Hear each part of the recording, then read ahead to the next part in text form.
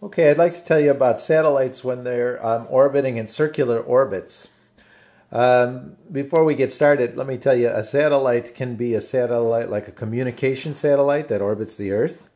Um, satellites can the, the the moon is a, a, natural satellite around the around the Earth. Uh, the Earth is actually a satellite around the sun, and so it goes. There's you know all these things that are orbiting and um, some of them are in very very close to circular orbit. So let's talk about the easiest type of orbit. That's a circular orbit, and let's just uh, what we're going to find is um, how does the it's a put something in orbit around a, a planet. Um, what velocity do you need to to get it to go in a perfect circle? Okay, so let's take a look. Okay, to go in a perfect circle, Now I'm not going to draw a perfect circle. I'm going to try, but oh, that's pretty good, boy. That's really good.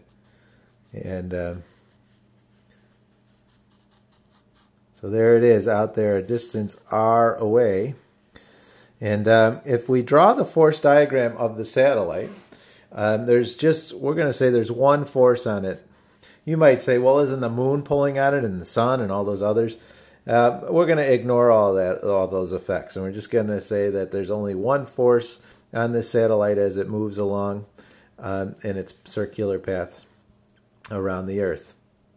Okay, so or maybe I'll just call this the mass of the planet.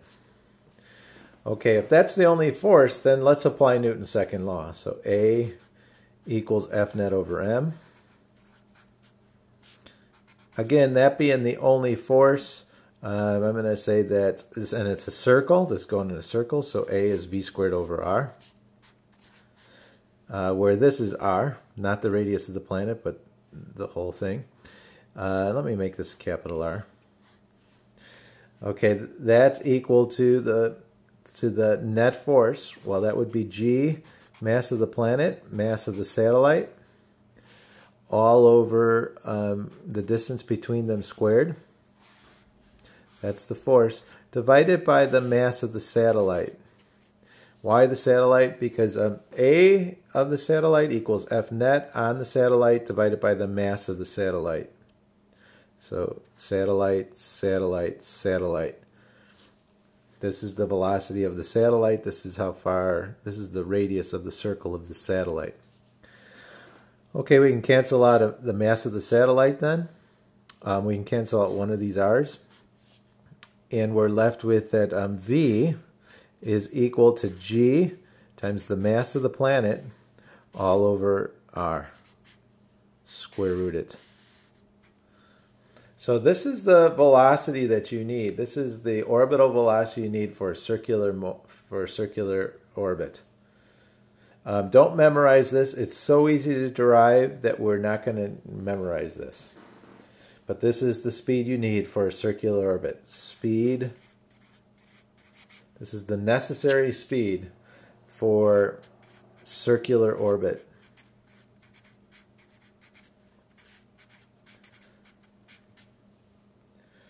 Okay, well, um, a lot of times uh, uh, we want to talk about the period of a satellite as opposed to its speed.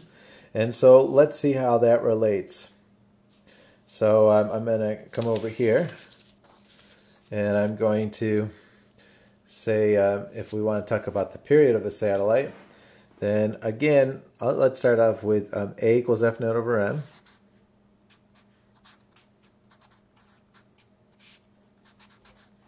So V squared over R is equal to the net force, mass of the planet, mass of the satellite, all over the distance between them squared, divided by the mass of the satellite. A of the satellite equals the net force on the satellite divided by the mass of the satellite. Let's get rid of a mass of the satellite. Let's get rid of one of the r's. Now for V, V is uh, it, when you go in a circle, it's delta x over delta t Uh, let, let's talk about speed. So it's distance divided by time, let's say. Distance divided by time. And so that's 2 pi r. That's one time around. That's the distance. Divided by the time to go one time around, which we're going to call the period. So t is the period. The time for one rot one um, revolution around the around the orbit. Okay, so I'm, I'm going to take and put that into this equation. So that's going to give me, when I square it, it's going to give me 4 pi squared r squared all over t squared is equal to g mass of the planet all over r. Solving for the period then, if I go ahead and solve for that, maybe I'll bring that here and bring all this over there. It looks like the period is going to equal, when I bring this up here, it's going to be 4 pi squared r cubed all over g mass of the planet. And then uh, that should be squared, but I'm going to take the square root of this.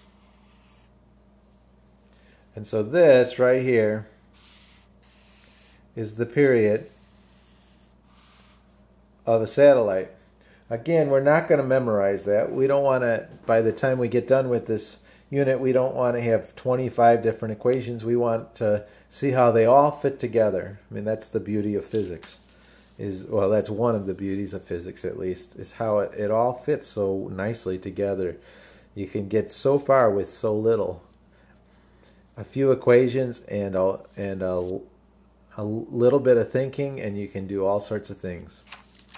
All right, so that is the period of a that is the period of a satellite.